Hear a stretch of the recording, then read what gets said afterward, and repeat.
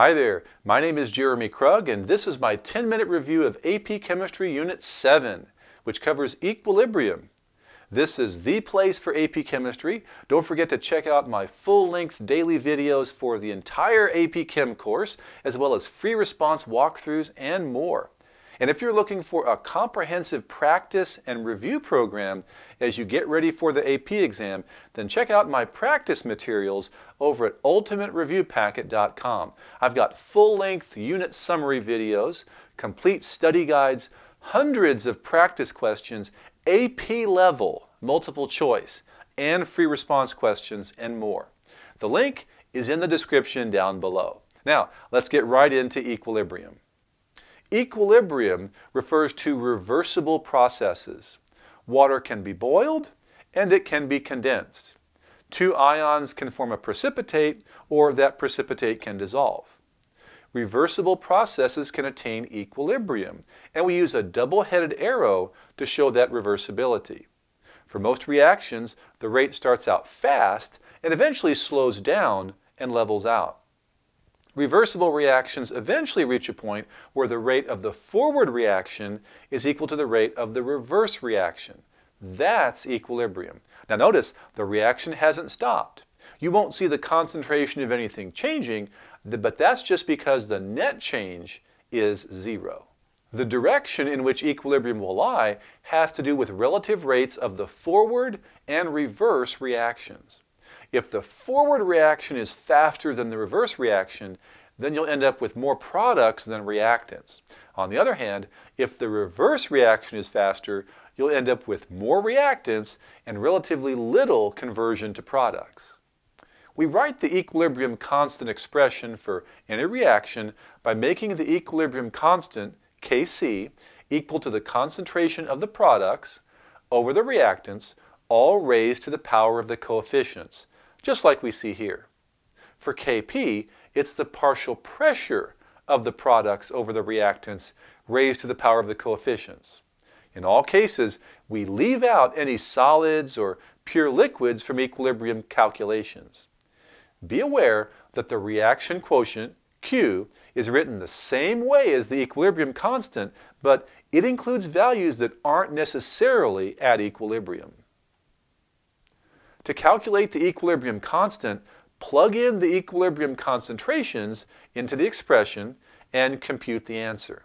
Likewise, if you know the equilibrium constant and all but one of the equilibrium concentrations, you can solve for the missing value.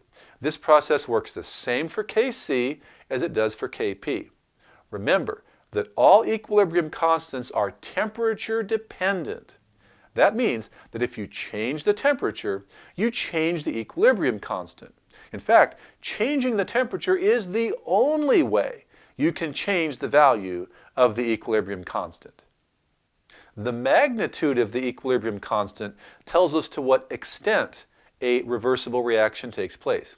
A very large equilibrium constant, like we see here, tells us that we're going to have almost 100% of the reactants converted into products we'd say equilibrium lies to the right or favors the products.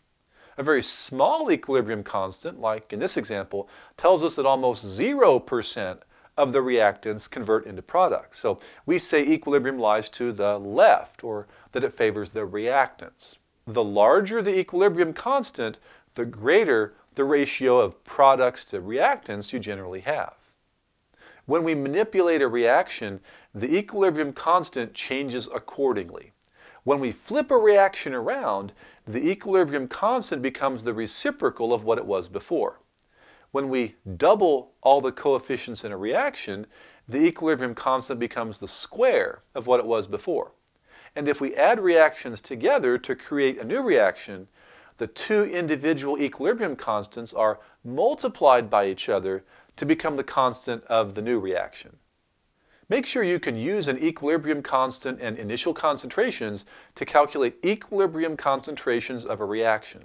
I recommend using a chart to keep your data organized, like this ice box where you'll write in the initial, change, and equilibrium concentrations of all the species present. We start by writing in the initial concentrations like this. Since we don't know the equilibrium concentrations, we can say the concentration of NO goes down by 2x. Then the concentration of N2 goes up by x, since it has to move in the opposite direction of the reactants, and there's a 2 to 1 ratio here. Then the concentration of O2 goes up by x. So here are our product concentrations that we can plug into the equilibrium constant expression. We use algebra to solve for x, and conversely for the equilibrium concentrations of all our substances. We can use a particle diagram to represent the relative numbers of reactants and products in a reversible process. In this example, we're given a particle diagram and we're asked to describe the equilibrium constant. Well, we see that there are a whole lot more carbon monoxide and hydrogen molecules than there are methanol molecules. And since there are so many more product molecules than reactants, we'd say the equilibrium constant has a very large value. And if we're asked to estimate the partial pressure of, uh, say, the hydrogen, we could multiply the mole fraction, which is 6 out of 10, or 6 tenths, by the total pressure. If the total pressure is 2.0 atmospheres, we'd say the partial pressure of the hydrogen gas is 1.2 atmospheres. If we have a system at equilibrium and we disturb that system, the system will readjust itself to get back to equilibrium. So if we add a substance, that substance will react with something on its side of the equation, and the opposite side of the reaction will increase, decreasing the side to which you added the substance. And if you take something away, the other side will react, causing those concentrations to decrease, and the side on which you remove the substance will increase. If you decrease the volume, the equilibrium shifts to the side that has fewer moles of gas. And if you increase the volume, it shifts toward the side that has more moles of gas. In an exothermic reaction, since heat is a product, adding heat shifts the reaction toward the reactants, while lowering the temperature shifts it toward the products. The opposite would be true for an endothermic reaction. If you have a system that's not at equilibrium, you can plug those pressures or concentrations into the reaction quotient, which we call Q, and determine in which direction the reaction will proceed to attain equilibrium.